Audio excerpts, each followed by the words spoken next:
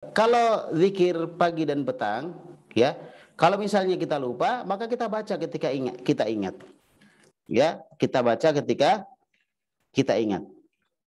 Baik. Oleh karena itu, ini hal yang menunjukkan bahwa syariat kita memberikan banyak kemudahan untuk kita sekalian.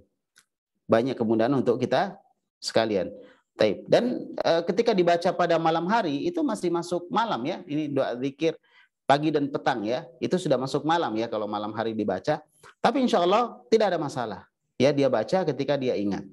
Dan itu hukumnya sunnah. Dia nggak baca juga nggak ada masalah. Tapi kalau dia baca karena di sebelumnya biasa membaca di waktu petang kemudian dia lupa nanti malam hari baru dia ingat pada saat itu dia baca nggak ada masalah. Tapi kalau dia tinggalkan juga tidak ada masalah karena hukumnya sunnah. Wallahu a'lam bishawab.